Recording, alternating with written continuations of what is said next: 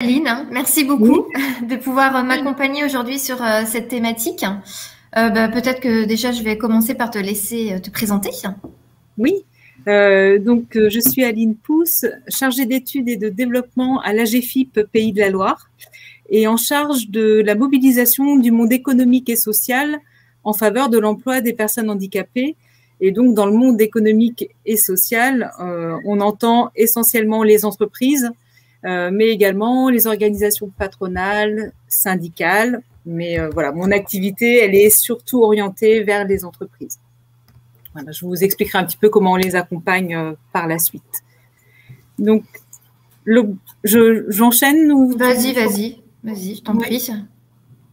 Donc, l'obligation d'emploi des travailleurs handicapés, effectivement, comme le disait Didier tout à l'instant, euh, ça peut paraître pour les pour les employeurs être une taxe supplémentaire, euh, mais en fait euh, le, le, législateur n'a pas forcément euh, vu ça de cette manière-là. Euh, c'était plutôt une contribution des employeurs pour permettre de développer l'emploi des personnes handicapées dans les entreprises privées ou dans la fonction publique aussi, hein, puisque la GFIP intervient uniquement dans le secteur privé, mais il existe l'équivalent de, de la GFIP pour les fonctions publiques. Euh, donc l'obligation d'emploi, elle, existe depuis un, certain temps. Euh, c'est la loi de 1987 euh, qui a instauré l'obligation d'avoir 6% de travailleurs handicapés dans les effectifs des entreprises de plus de 20 salariés. Et c'est en 87 aussi que le législateur a créé l'AGFIP au départ pour collecter les contributions des entreprises qui n'atteindraient pas ce taux d'emploi de 6% et pour redistribuer euh, ces contributions aux entreprises et aux personnes en situation de handicap en fonction des besoins. Cette loi de 87, elle a été renforcée à plusieurs reprises au cours des dernières années euh, pour arriver là euh, à ce cadre réglementaire actuel. Donc avec les deux dernières lois de 2018, donc la loi pour la liberté de choisir son avenir professionnel et 2019, euh, la dite la loi Pacte sur la simplification administrative notamment qui viennent euh, un petit peu modifier ce, bah, cadre euh, réglementaire euh, et notamment, ah oui, alors non, je, je, suis un peu trop vite, pardon, on, en parlera après, mais avec l'arrivée d'un nouvel acteur sur ce champ-là qui est l'URSSAF, qui finalement va aujourd'hui collecter les contributions des entreprises en lieu et place de la GFIP, même si ensuite il y aura un reversement des, des fonds collectés à la GFIP pour euh, nous permettre de poursuivre notre mission de conseil et d'accompagnement des entreprises, de versement d'aide financière euh, aux personnes en situation de handicap dans le cadre de leur parcours vers l'emploi, euh, de leur maintien dans l'emploi, etc. On pourra y revenir tout à l'heure. Alors, ce qu'on s'est dit avec Virginie, c'est que avant de rentrer dans le vif du sujet, de la déclaration, de ce qu'on attend, ce qu'on demande aux entreprises aujourd'hui par rapport à cette obligation, c'est de déjà de s'entendre sur de quoi on parle lorsqu'on parle de handicap et de travail. Et donc, c'est ce qu'on voulait vous proposer très, rapidement pour, euh, pour démarrer, euh, puisque finalement, le, handicap dans les représentations euh, qu'on peut tous avoir, on, on, a souvent une représentation très lourde des situations de handicap. Lorsqu'on dit le mot handicap, on imagine euh, tout de suite la personne en fauteuil roulant, euh, l'aveugle, le sourd. Et, euh, et en réalité, le handicap, il est beaucoup plus varié et multiple que ça. Et il recouvre des situations très, très diverses. Et par exemple, le, un, handicap léger, un problème de santé qui peut paraître relativement léger, peut entraîner euh, de lourdes conséquences sur le plan professionnel et donc conduire à une reconnaissance de la qualité de travailleur handicapé. Puisque désormais, depuis la loi de 2005, euh, le handicap s'entend en situation. On va tenir compte de l'environnement de la personne pour déterminer si son problème de santé peut donner lieu à une reconnaissance de la qualité de travailleur handicapé ou pas. Ce qui fait que, par exemple, une déficience légère, euh, je, vais, vous donner l'exemple qu'on prend souvent, mais qui est réel, hein, qui existe vraiment, c'est le boulanger qui devient allergique à la farine parce que ben, par des années, enfin durant des années, il, a, manipulé de la farine et à un moment donné, son corps dit stop et il devient allergique à la farine. Être allergique à la farine, on, pourrait se dire bon c'est c'est embêtant, certes, mais euh, c'est pas très grave, euh, c'est pas un handicap. Alors que lorsqu'on est boulanger, on est vraiment en situation de handicap pour poursuivre son métier. Euh, parce que de fait, le boulanger qui devient allergique à la farine ne peut plus être boulanger. Il est obligé de se reconvertir à un nouveau métier. Du coup, sa, sa déficience, qui peut paraître légère, a vraiment de lourdes conséquences et il peut être reconnu travailleur handicapé. Mais dans ces cas-là, dans ce cas précis, il sera reconnu travailleur handicapé pour une durée euh, temporaire. Euh, c'est-à-dire qu'on la, maison départementale des personnes handicapées va lui accorder euh, ce titre de travailleur handicapé, peut-être pour deux ans. Le temps pour lui de se reconvertir sur un nouveau métier, d'obtenir des aides pour ça. Mais dès lors qu'il sera sur un nouveau métier sans contact avec la farine, il ne sera plus en situation de handicap. Donc, son, son titre ne sera pas renouvelé. Non et puis à l'inverse, euh, on, travaille, nous, avec un, de temps en temps, un conférencier euh, qui est paralysé du bras, d'un bras, je ne sais plus lequel exactement. Euh, donc lui, il, est, lui, il se sent handicapé parce que tous les matins pour s'habiller, il est en difficulté. voilà, dans certaines situations de sa vie quotidienne, il est en difficulté. Mais dans son métier de conférencier, en fait, il me dit, moi, mon handicap n'est pas un problème. Je suis pas en situation de handicap à mon travail. Donc, vous voyez, c'est c'est vraiment euh, des situations qui sont très diverses et on entend vraiment toujours le handicap, alors bien sûr au sens médical, mais aussi en situation, en fonction de l'environnement de travail. Et comme je vous le disais, le handicap, euh, il peut être permanent, mais il peut être aussi temporaire, il peut être stable ou évolutif. Autre, autre élément, c'est que souvent, quand on parle de handicap, on voit le fauteuil roulant parce qu'on le voit. Et donc, on va forcément penser à ce qu'on a l'habitude de voir. Alors qu'en réalité, euh, le handicap visible ne représente que 20% des personnes en situation de handicap. Dans 80% des cas, le handicap ne se voit pas. Donc, on peut côtoyer au quotidien euh, des collègues, euh, des, des, personnes euh, qui sont en situation de handicap, mais, mais on ne le sait pas parce qu'on ne le voit pas. Voilà. Euh, je vous disais que, que bah, l'exemple du boulanger euh, qui devient allergique à la farine, c'est exactement, euh, il rentre dans les 85% des personnes dont le handicap survient après l'âge de 15 ans. Le handicap, en fait, la première cause de handicap, c'est le, le, vieillissement euh, et du coup des problèmes de santé qui arrivent. Je vais vous expliquer euh, juste après quelles sont les différentes typologies de handicap et, et, et vous allez voir que effectivement dans la plupart du temps, sont des pathologies qui, bah, qui arrivent, qui se développent avec l'âge. Donc, l'idée reçue qui consiste à penser qu'on est avec un handicap, donc euh, c'est dès la naissance, et on l'est toute sa vie, en fait, c'est faux. On, est plutôt dans une situation où, au cours de sa vie, euh, on, on, va être, euh, on peut être à un moment donné en situation de handicap, et ce ne sera pas forcément définitif. Voilà. Donc attention à tous les préjugés qu'on peut avoir, euh, puisque lorsqu'on parle de handicap en milieu professionnel, on a souvent tendance à penser que la personne sera moins performante, qu'elle sera plus lente euh, qu'une personne valide, euh, ou qu'elle va être absente parce qu'en arrêt maladie, etc. Et, en fait, euh, les enquêtes ont montré que c'était faux. Que les personnes en situation de handicap ne sont pas plus absentes. Elles peuvent être tout aussi compétentes et performantes si elles sont sur des postes adaptés et compatibles avec leur handicap, bien sûr. Alors, je vous parlais euh, des typologies de handicap. En, en, France, on a à peu près, on estime à 2,7 millions de personnes actives qui ont une reconnaissance administrative de leur handicap. Et donc, parmi, euh, parmi ces, ces, personnes, on retrouve différentes typologies de, de handicap. Alors, il y a 45% d'entre elles, donc la majorité euh, des handicaps, ça reste du handicap moteur, mais dans le handicap moteur, le, les personnes en fauteuil roulant ne représentent que 2% de cette catégorie-là. Donc vous voyez, c'est vraiment très peu. Euh, dans le handicap moteur, on va retrouver toutes les problématiques de dos, par exemple, euh, qui ne se voient pas, mais euh, qui sont pourtant très présentes et de plus en plus présentes dans la population.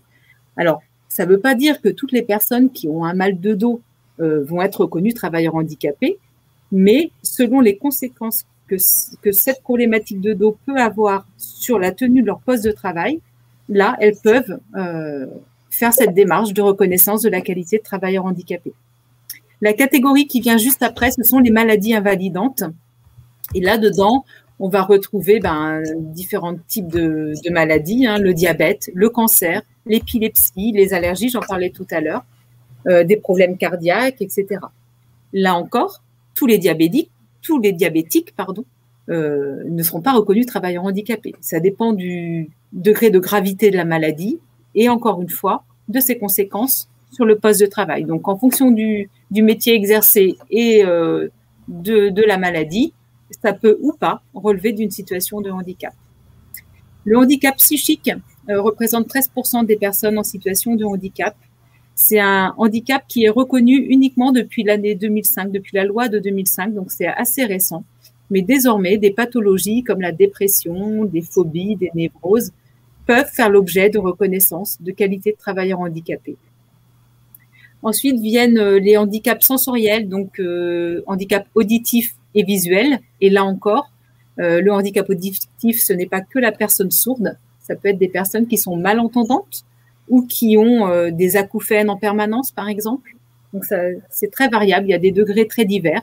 Euh, et, euh, et, pour le visuel, pareil, c'est pas que la personne aveugle. Il y a des personnes qui ont qui ont une déficience visuelle et si elles passent leur journée sur l'écran, ça peut être tout à fait problématique d'avoir un, un, problème visuel et qui qui va entraîner de la fatigabilité, etc.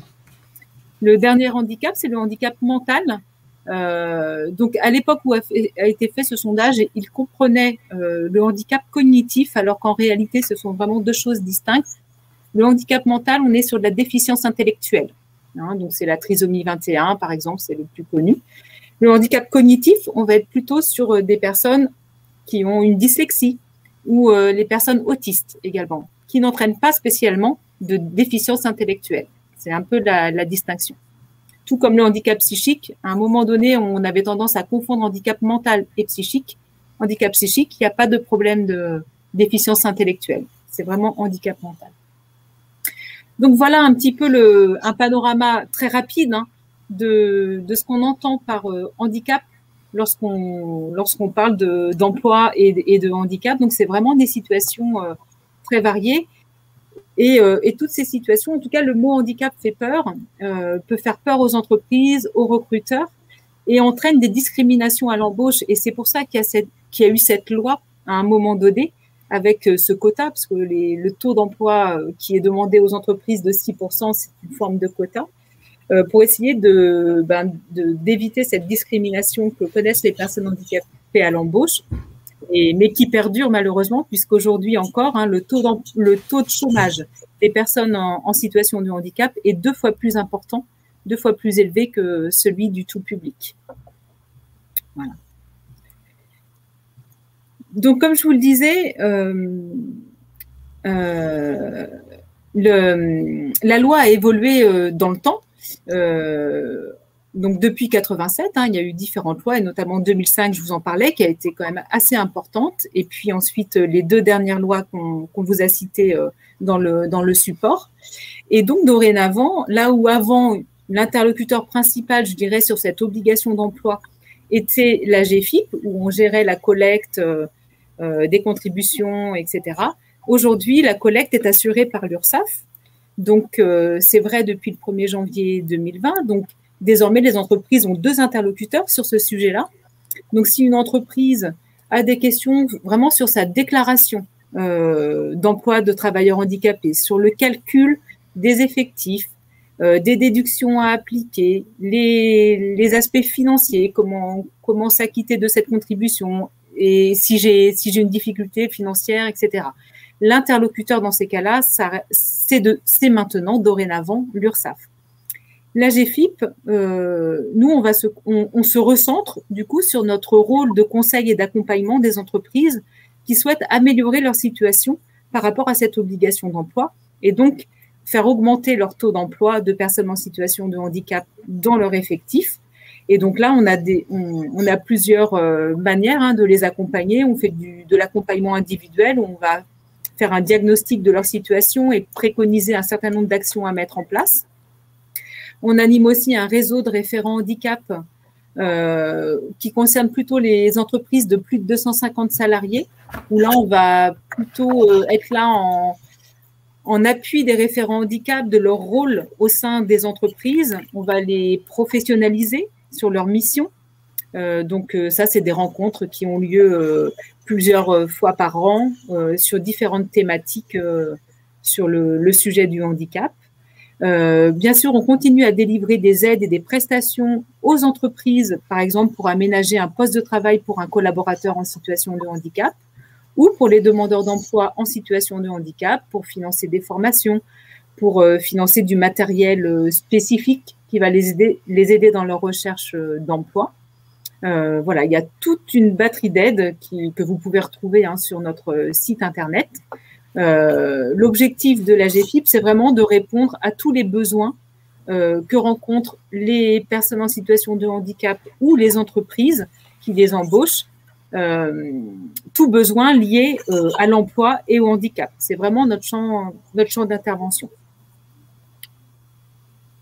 Voilà, je pense que j'ai dit l'essentiel sur ce sujet. Je vais te laisser la parole, Virginie, pour aborder le, cœur du, du sujet de, de, la déclaration d'emploi des travailleurs handicapés telle qu'elle s'applique depuis le 1er janvier 2020.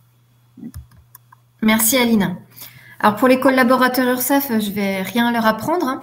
Euh, voilà, si ce n'est qu'en effet, hein, maintenant il y a une, euh, nouvelle modalité déclarative hein, qui passe aujourd'hui par euh, la DSN. Alors on retrouve deux natures d'obligations qu'Aline a pu brièvement présenter. Une première qui concerne en fait toutes les entreprises. Donc là, il n'y a pas d'exception, quel que soit son effectif.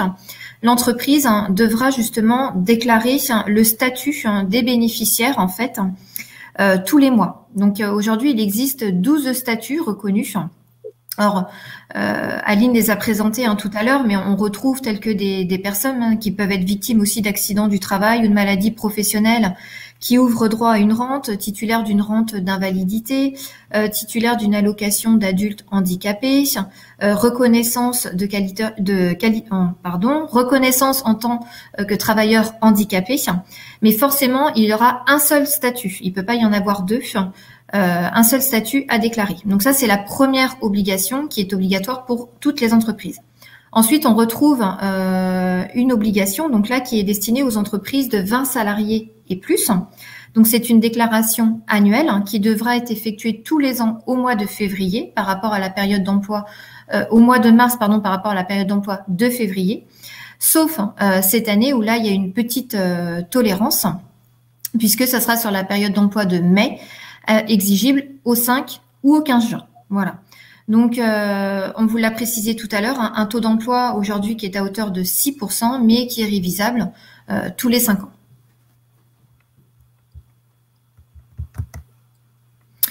Alors, au niveau donc euh, des obligations, euh, c'est vrai que euh, je pense qu'aujourd'hui ils sont bien informés, savoir ce qu'ils doivent faire. Donc, tout employeur privé, y compris les entreprises de moins de 20 salariés, ça, on, a eu assez de communication en ce sens. Mais il y a eu, on a eu certaines interrogations dans les précédents webinaires ou sur les plateformes téléphoniques sur le franchissement du seuil d'effectif. Donc justement, euh, on a dû apporter quelques éléments que euh, le seuil des 20 salariés s'entend justement pendant cinq années consécutives pour être assujetti à cette obligation d'emploi des travailleurs handicapés. Si lors du délai de cinq ans, euh, l'entreprise redescend en dessous donc de ce seuil de 20 salariés, le délai donc est interrompu. Par contre, on rappelle toujours que l'entreprise a l'obligation de déclarer les bénéficiaires, donc euh, quel emploi, quel que soit son effectif. On rappelle aussi hein, qu'il s'agit aujourd'hui d'un assujettissement à une déclaration par entreprise et non plus par établissement.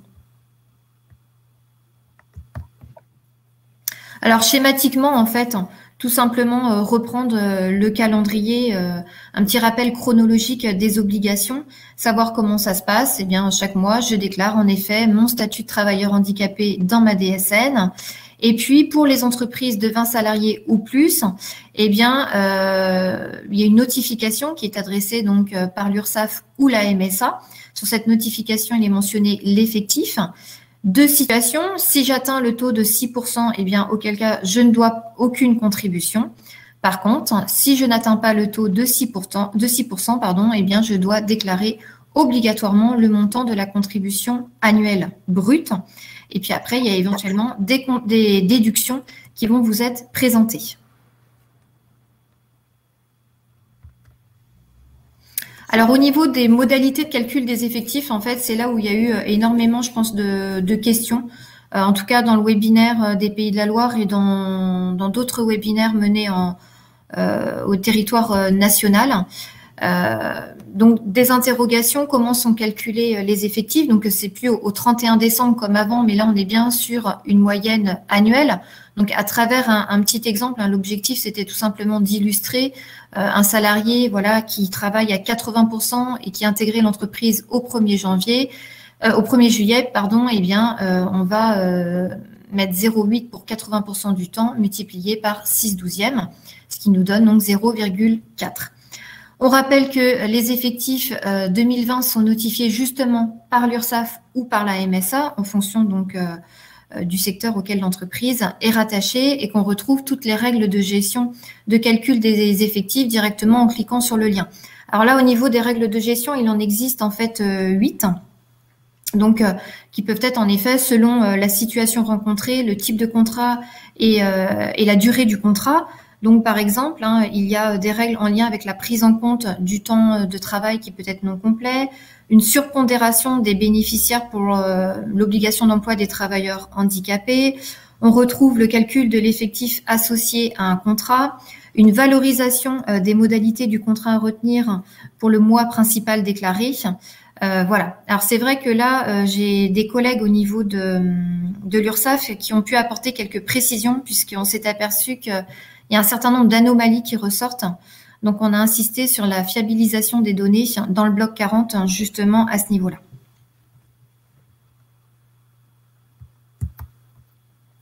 Alors, au niveau du calcul euh, de la contribution, euh, euh, c'est vrai que là aussi un certain nombre de questions et la GFIP a mis un, simulateur à disposition qu'Aline pourra vous présenter ultérieurement. Mais, euh, mais l'objectif, hein, c'est de comprendre voilà le nombre de bénéficiaires à employer. Donc, on rappelle qu'il s'agit aujourd'hui d'un taux à hauteur de 6%, moins le nombre de bénéficiaires réellement employés au sein de la structure, ce qui nous donne le nombre de bénéficiaires manquants que l'on va multiplier par un coefficient. Donc, ce coefficient est défini en fonction donc de la taille de l'entreprise. Et là, ça nous donne donc la contribution brute. Euh, et ensuite, hein, Aline, euh, justement, pourra euh, vous apporter des précisions sur des déductions éventuelles que les entreprises peuvent, peuvent avoir.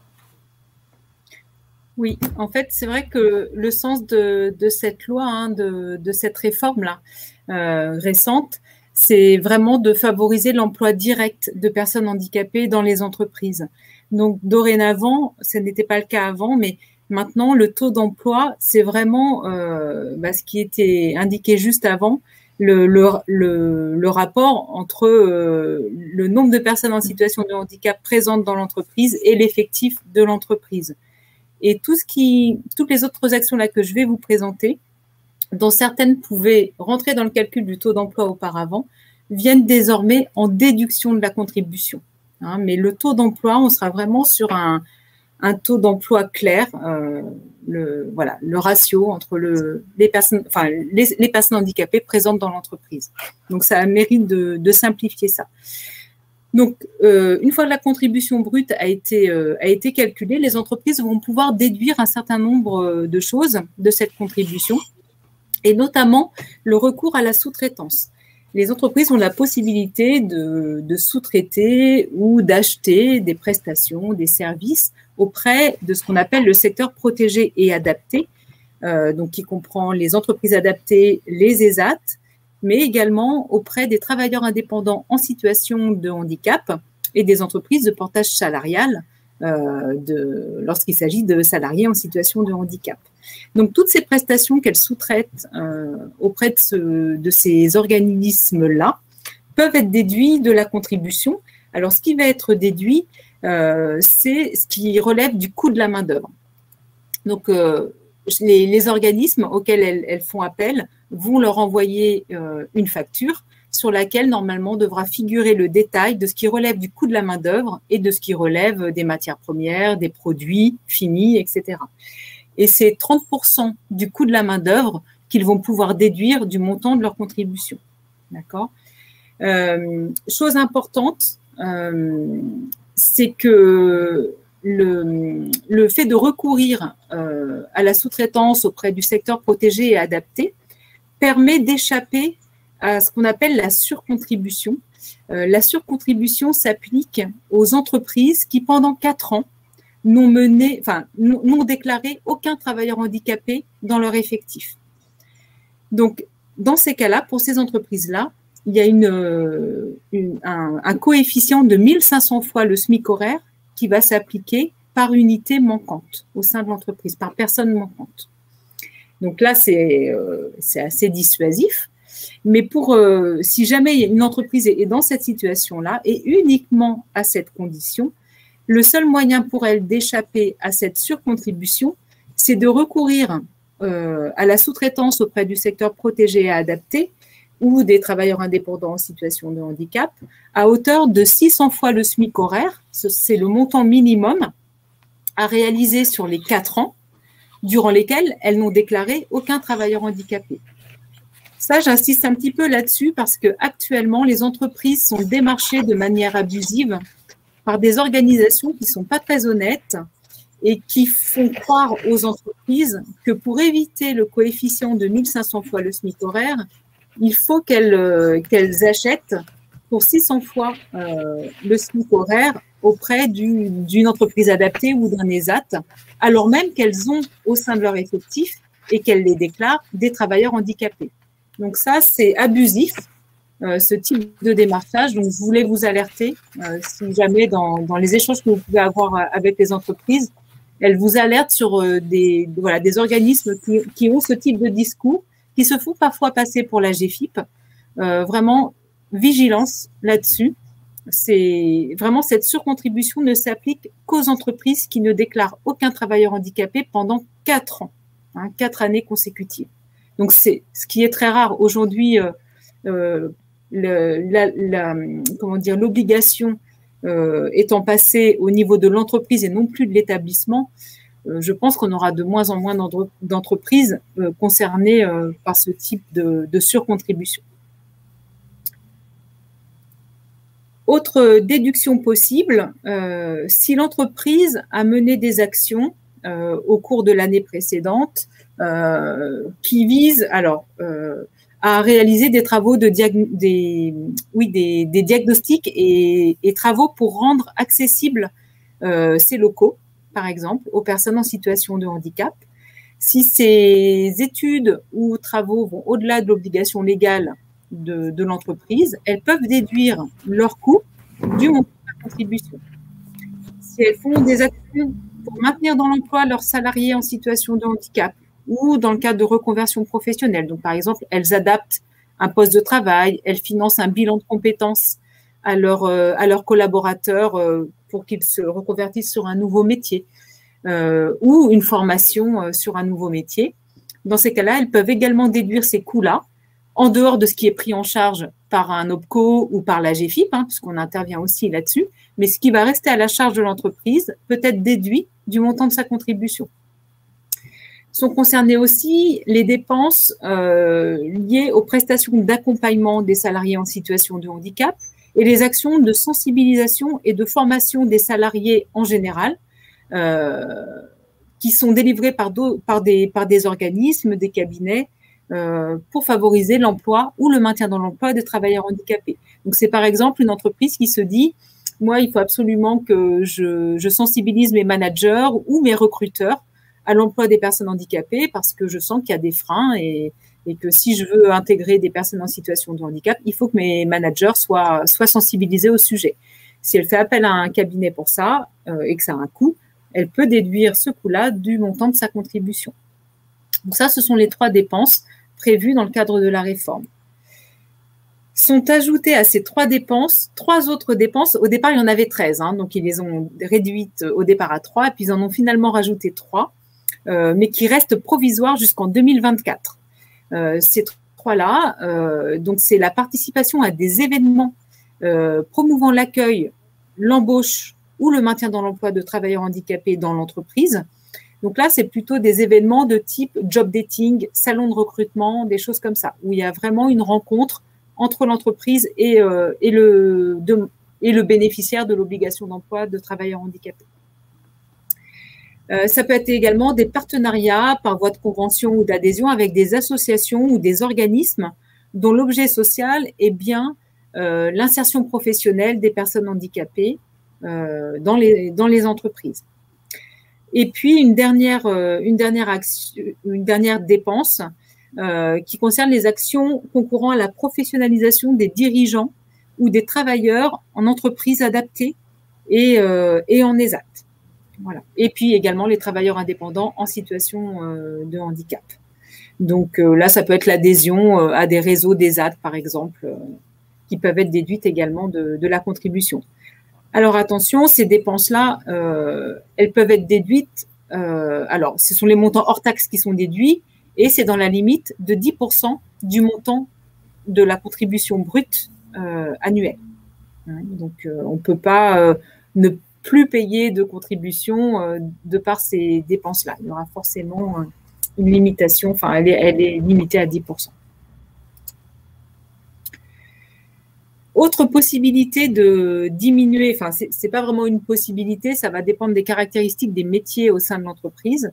Mais euh, une autre déduction possible de la, de la contribution, c'est ce qu'on appelle les emplois exigeant des conditions d'aptitude particulières, les ECAP, qui sont des emplois euh, pour lesquels le législateur considère que, euh, compte tenu de leur pénibilité euh, ou de leur particularité, il est plus difficile d'intégrer des personnes handicapées sur ce type d'emploi.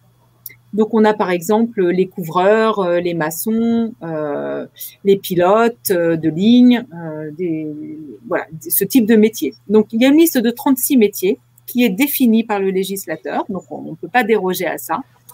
Et donc si l'entreprise a des métiers de ce type-là et qu'elle a des travailleurs handicapés sur ces métiers-là, parce qu'on a vu hein, que le handicap pouvait arriver aussi au cours de, la vie, donc il se peut que ces métiers-là soient malgré tout occupée par, euh, par des personnes en situation de handicap. Dans ces cas-là, elle va pouvoir déduire à hauteur de 17 fois le SMIC horaire par, euh, par bénéficiaire occupant ces métiers-là. Donc, euh, de ce, montant-là de, la contribution brute. Euh, je ne sais pas si c'est très clair. Euh, voilà, donc ça, c'est une, déduction euh, supplémentaire de la contribution. Donc, tout à l'heure, on a vu avec Virginie le calcul de la contribution brute et donc avec la possibilité de la réduire en déduisant le recours à la sous-traitance auprès de, des entreprises adaptées, des ESAT, des travailleurs indépendants en situation de handicap et des, entreprises de portage salarial lorsque le salarié porté est en situation de handicap. Donc là, je rappelle, hein, c'est 30% du coût de la main-d'œuvre qui peut être déduit et il y a un plafond également. Euh, et peuvent être déduites également des dépenses dont je vous ai parlé, les six, euh, dépenses euh, possibles que les entreprises ont pu faire au cours de l'année précédente, les ECAP, et on arrive au montant de contribution nette. Donc, après ce montant de contribution nette, c'est pas encore le montant que l'entreprise va finalement payer, puisqu'il y a un système d'écrètement qui est prévu par, euh, par le législateur, là, euh, comme une forme de période transitoire suite à la réforme, pour limiter l'impact financier euh, que peut avoir le que peut avoir cette réforme.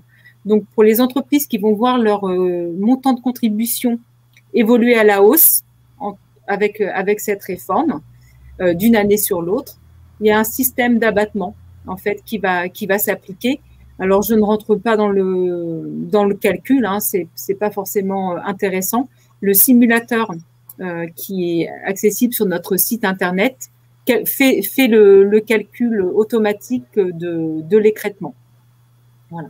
Donc cet écrètement, il va avoir lieu jusqu'en 2024. C'est un peu le temps qu'on laisse, enfin que le législateur laisse aux entreprises pour euh, se mettre en conformité avec ces nouvelles modalités euh, liées à, à, cette réforme. Donc euh, nouvelles modalités d'obligation d'emploi de, de, travailleurs handicapés. Donc une fois une fois que, voilà ce, cet écrètement est appliqué, là pour le coup, l'entreprise a le montant net de sa contribution qu'elle va devoir régler à l'URSSAF désormais. Alors il y a un autre euh, il y a un autre moyen en fait de alors pour le coup de ne plus payer euh, du tout de contribution. Il y a finalement deux possibilités hein, de ne pas payer de contribution euh, à l'URSSAF. C'est soit d'atteindre 6% de travailleurs handicapés dans ses effectifs, soit de signer un accord, un accord d'entreprise sur le handicap euh, donc ça, c'est un accord d'entreprise classique hein, qui est signé entre la direction de l'entreprise et euh, les représentants du personnel. Et pour euh, que cet accord dédouane l'entreprise du paiement de la contribution, il faut qu'il soit agréé par les services de l'État, donc par la directe. Et donc dès lors qu'il y a cet agrément, l'entreprise n'a plus à payer de contribution, mais elle s'engage vis-à-vis de la directe à mettre en place un plan d'action euh, pour développer l'emploi de personnes en situation de handicap euh, au sein de l'entreprise et atteindre les 6% dans un délai de trois ans. L'accord, il est signé pour trois ans et il y a vraiment des objectifs assez ambitieux de progression du taux d'emploi au cours de ces trois ans. Si jamais les objectifs ne sont pas atteints, il y a un recalcul de la contribution qui aurait dû être payée à l'URSSAF et qui, du coup, le, il y aura un reversement euh, de, de ce montant-là. Donc, ce que, prévoit la loi, enfin la réforme là, c'est que jusque-là, les entreprises pouvaient signer des accords triennaux euh, ad vitam aeternam. Et donc, on a des entreprises qui, ça fait, ça fait 20 ans qu'elles sont euh, sous accord, mais euh, certaines n'ont toujours pas atteint le, taux de 6%. Donc, l'État a considéré que finalement, euh, c'était pas forcément efficace de renouveler en permanence des accords. Et donc, la réforme prévoit de limiter euh, le nombre d'accords possibles au sein d'une même entreprise à deux accords. Donc, à partir du 1er janvier 2020, les entreprises euh, qui sont sous accord ou qui vont signer un nouvel accord pourront euh, signer deux accords, donc deux fois trois ans, donc pourront être sous accord pendant une durée de six ans, et ensuite elles ne pourront plus renouveler leur accord.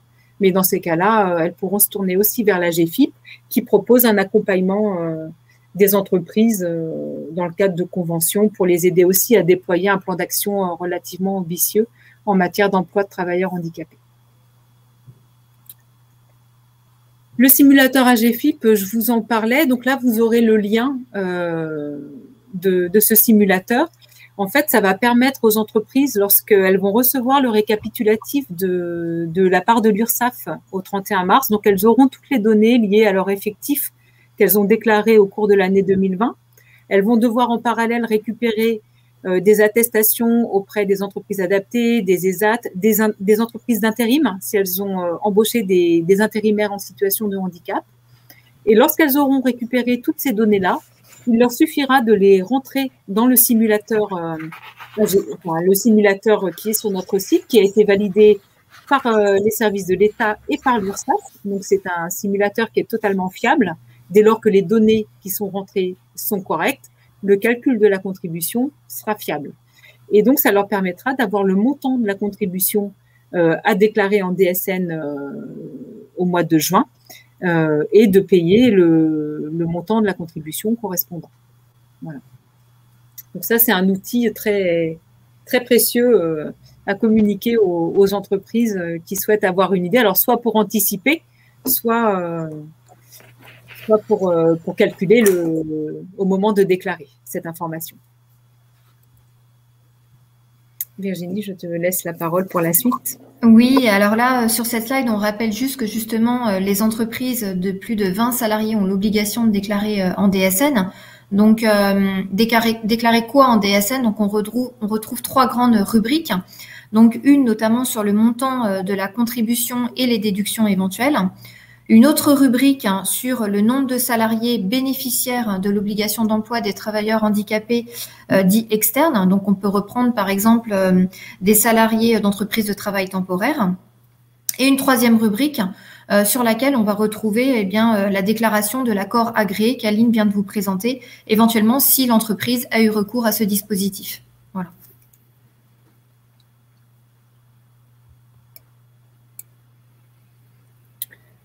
Donc ensuite, on vous a mis euh, tous les liens euh, qui peuvent être utiles euh, aux entreprises ou à ceux qui souhaitent creuser un petit peu plus le, sujet. Donc le lien vers les simulateurs, le guide, notamment le guide de l'OETH qui est présent sur le site de l'URSSAF et qui, qui permet d'avoir une bonne vision de la manière dont il faut déclarer son obligation d'emploi de travailleurs handicapés euh, après, bah, il y, a des liens sur euh, l'offre de services de la GFIP également.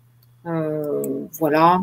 Les, fiches consignes DSN qui accompagnent un peu le, enfin qui fait un peu le pas à pas de, la déclaration.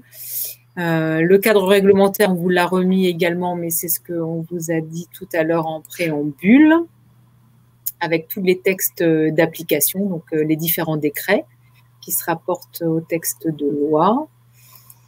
Euh, voilà pour notre présentation. Est-ce que je ne sais pas s'il y a la possibilité de poser des questions Profitez-en, euh, il y a la GFIP, donc euh, c'est vraiment une plus-value en tout cas d'avoir la présence d'Aline aujourd'hui. Ce n'est pas toujours évident de, comprendre le, contexte hein, et c'est vrai que ça nous paraissait important de prendre du temps justement de rappeler le, cadre, en tout cas, de, cette nouvelle modalité déclarative.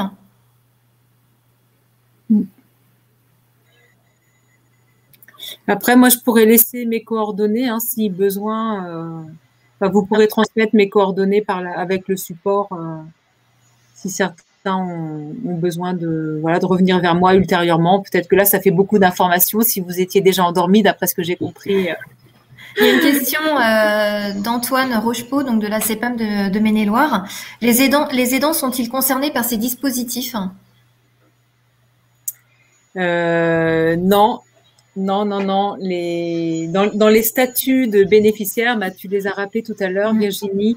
Euh, on a juste des, des, statuts un petit peu particuliers qui sont les victimes de guerre et assimilées, et notamment les veuves les veuves de guerre et orphelins euh, qui, ne sont pas eux-mêmes reconnus travailleurs handicapés, mais qui, sont considérés comme bénéficiaires de l'obligation d'emploi, mais bon, c'est vraiment très très marginal. Mais non, les aidants euh, ne sont pas considérés comme bénéficiaires de l'obligation d'emploi des travailleurs handicapés. Après, euh, on a certaines entreprises, notamment dans le cadre d'accords agréés, qui peuvent prévoir des dispositions ou des, des mesures euh, en direction de ces, de ces aidants, s'ils ont des, des, salariés qui sont aidants. Et voilà, je sais que dans le cadre d'accords d'entreprise, certaines, euh, certaines entreprises prévoient une demi-journée ou une journée de congé supplémentaire euh, pour les bénéficiaires de l'obligation d'emploi ou pour, pour les aidants. Ou, voilà. Donc ça, c'est vraiment à l'initiative de l'entreprise. Est-ce qu'il y a d'autres questions Parce que c'est l'occasion. Du coup, euh...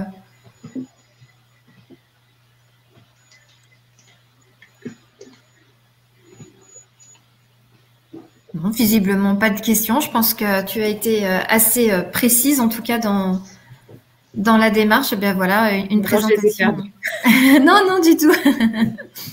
voilà, qui est claire sur les principes et les mécanismes. C'était l'objectif, parce que c'est vrai que nous, en URSAF, on a eu une, proposition de, webinaire, mais c'est toujours intéressant d'avoir quand même euh, euh, des informations, des précisions sur l'organisme qui était quand même euh, compétent et voilà d'avoir toute ton expertise à ce niveau-là. Mm.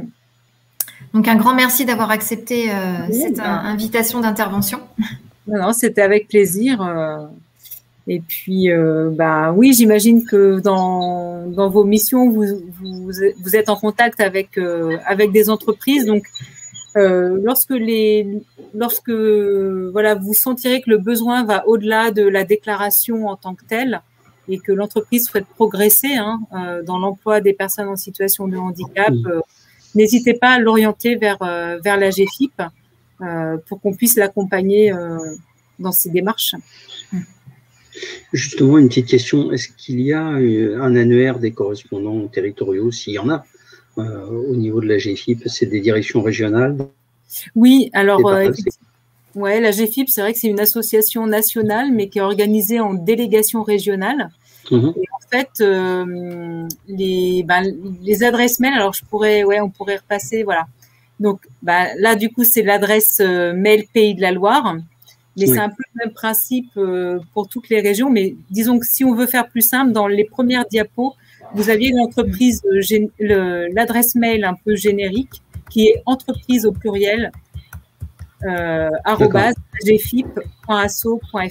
Hmm. C'est, euh, je pense que ça va créer quelques, quelques envies et quelques idées dans les, dans les membres du comité régionaux euh, et, de, d'éventuellement pouvoir reproduire ce type d'intervention à destination d'entreprises ou pour répondre à des questions ou à des participations à des séminaires ou à d'autres. Et du coup, euh, avoir l'opportunité d'être accompagné par quelqu'un de ta qualité, euh, mm. même si je pense que tu pourrais faire le Tour de France facilement, c'est pas gênant, mais tu as peut-être autre chose à faire. Oui. du coup, non, parce que sinon, si tu avais dit oui, on aurait dit bon, bah alors Virginie aussi. non, mais j'ai plein d'autres collègues de qualité aussi, donc euh, qui sauront faire.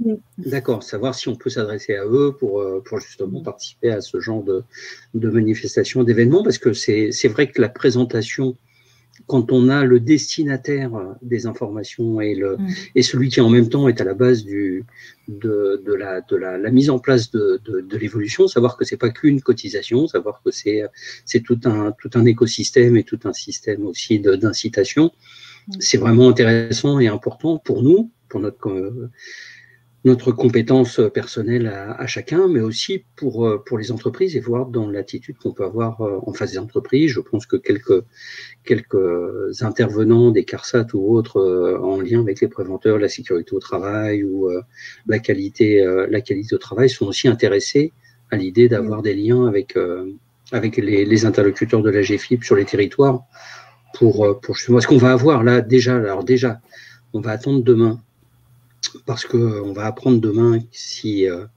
euh, à quel moment est-ce que les, les, les, cotisations et les taux vont être publiés, puisqu'ils devaient l'être début janvier, ça a été reporté à février, c'est reporté à mars, et là maintenant on est en train de se demander si ça aura lieu avant le 19 mars.